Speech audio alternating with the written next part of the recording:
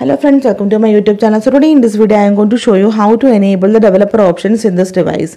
For this go to settings and scroll down, tap on about device then again scroll down here you can see the option version tap on this one and tap on seven times on version number okay one two three four five six seven. You can see you are now a developer. Now go back to your settings then tap on additional settings then scroll down. Here you can see developer options. If you tap on this one then you will get lots of developer options here. So you can easily enable or disable uh, you can uh, the developer options here. So simply in this way you can enable developer options in this device. So hope you guys enjoy this video. Thank you for watching. Thank you. Bye bye